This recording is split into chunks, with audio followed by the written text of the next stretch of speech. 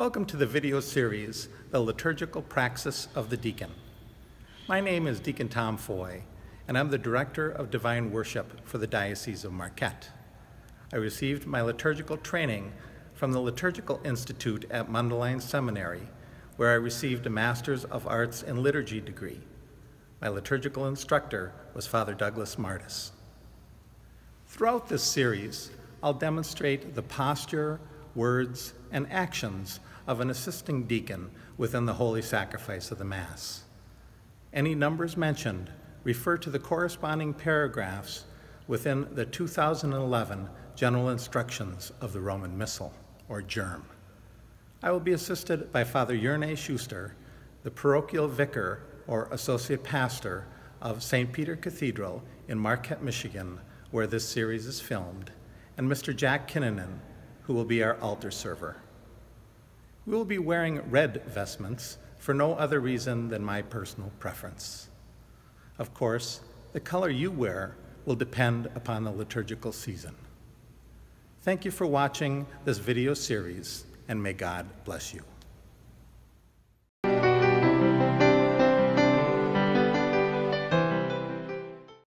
The liturgical role of the deacon.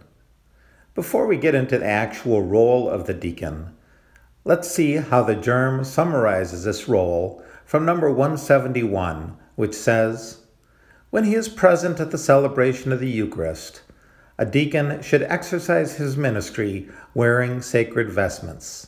In fact, the deacon assists the priest and walks at his side, ministers at the altar, both as regards to the chalice and the book, proclaims the gospel, and may, at the direction of the priest celebrant, give the homily, guides the faithful people by giving appropriate instructions, and announces the intentions of the universal prayer, assists the priest celebrant in distributing communion, and purifies and arranges the sacred vessels, carries out the duties of other ministers himself if necessary, when none of them is present.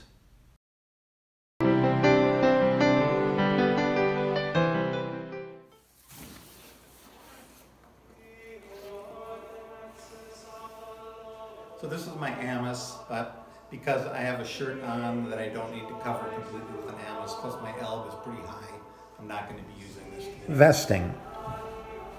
Vesting of a deacon is covered primarily in Numbers 119, 336, and 338. This, of course, is my alb. Proper vestiture for a deacon assisting at Mass is an alb with cincture, a deacon stole over the left shoulder, and a dalmatic. A cincture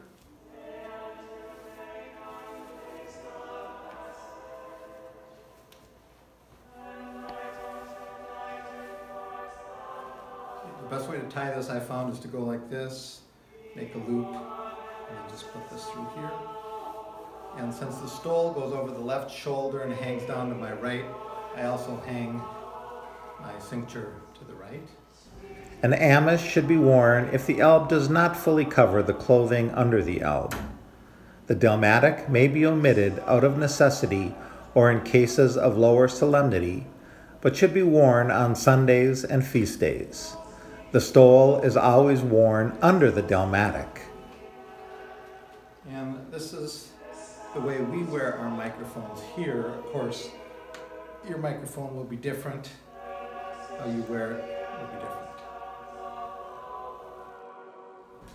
Vesting prayers may be said.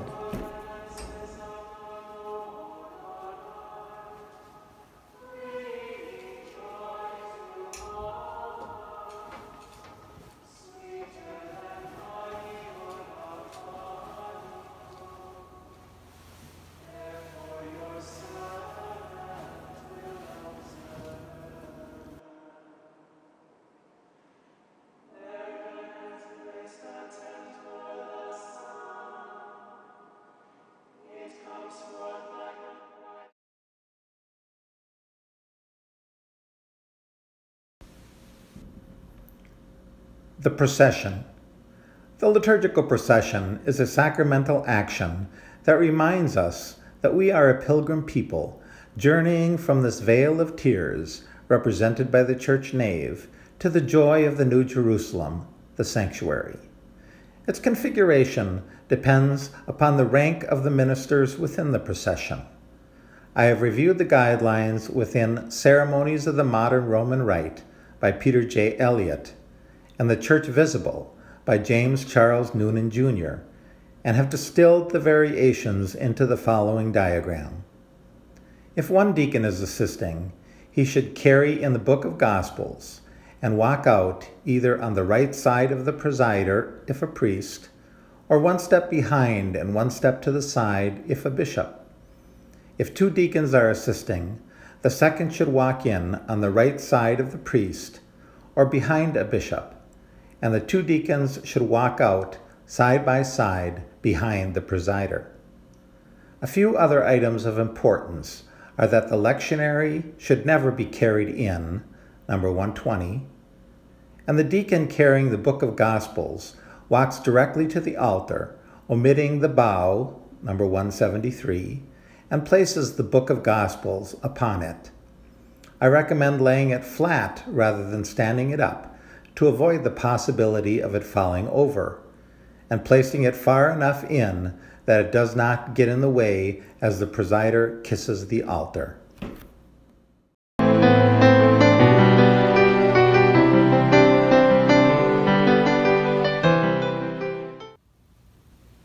In the name of the Father, The Penitential Act.